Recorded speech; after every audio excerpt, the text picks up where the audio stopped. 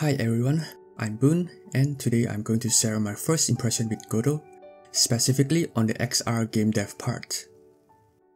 Quick disclaimer, it's a very subjective experience shared by me, a person who started learning Godot less than a month ago, so take everything with a grain of salt. Right off the bat, I'm really impressed by how lightweight the XR plugin is on Godot. In fact, it's zero weight, there's no plugin to install. It's all built into the engine out of the box. This saves you a lot of hassles and makes it easy to get started with XR development. The project setup is also very smooth. I was able to follow the guide in the documentation and get everything up and running without any problems. It took me about 50 minutes, but most of that time was spent reading the documentation. I'm confident that I could do it again in under 3 minutes now. You know what? Let's do it again with a timer. So, I just have to create the project,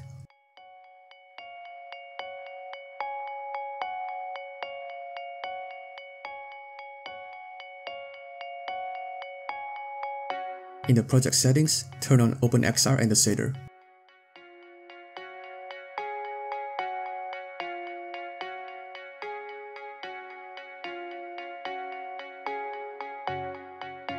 Under the root node, add an XR origin node. Then under it, add an XR camera node and two XR controller nodes. Set them to the left and right hand respectively.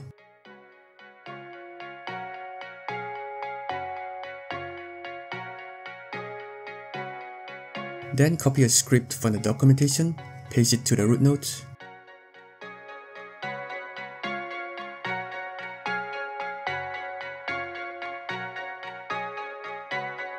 To let us see what's going on, I'll add a plane mesh as the floor.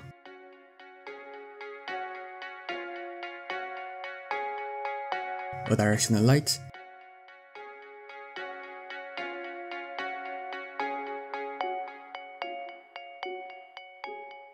And a cube for each hand.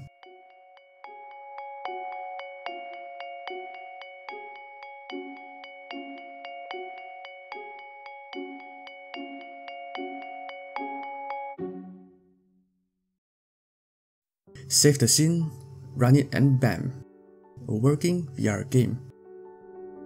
2 minutes, not bad. If I'm on Unity, I would probably still be waiting in the project creation stage. The VR project is basically set up now. From here, we can either implement our own game mechanics or make use of the Godot XR tools, which is made by these lovely people. It's basically an equivalent to the XR Interaction Toolkit in Unity. You can use it to implement locomotion and basic interactions like grabbing stuff and such. Another thing I'm surprised by is the built-in pass-through and hand tracking support. Is this some sort of magic? How did they manage to fit all this into an engine that's only 114 megabytes? Implementing them is also easy. For pass-through, all you need to do is copy a piece of code from the documentation and paste it into your script.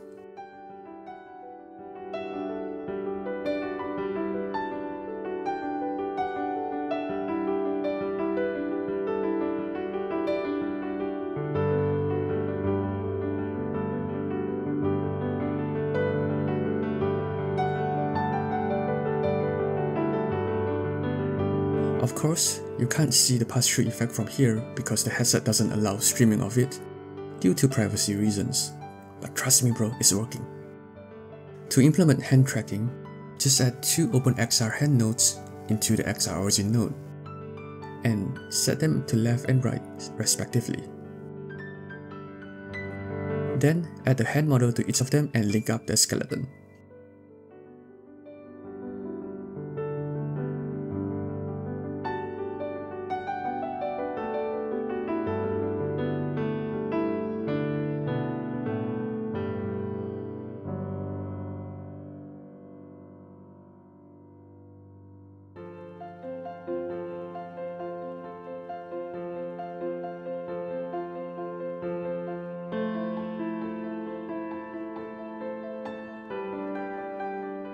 Everything has been easy and smooth so far, but nothing is perfect. and so does Godot.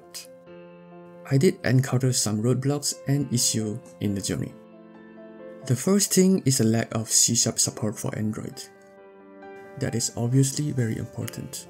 If you are using C-sharp and targeting Meta's Quest lineup or the Pico headsets, you have three options here.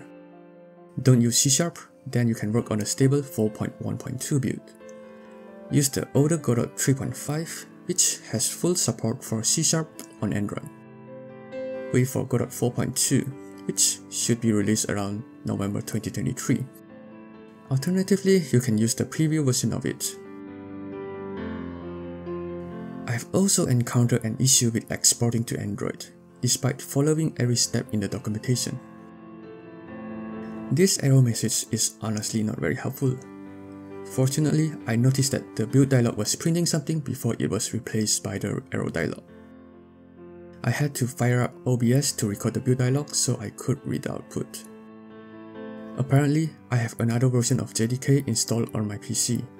Some tweaks in the environment variables fixed the issue. Despite some hiccups during the setup, I would still say the process is fairly easy, and I'm very impressed with Godot XR. That's all for this video, thanks for watching.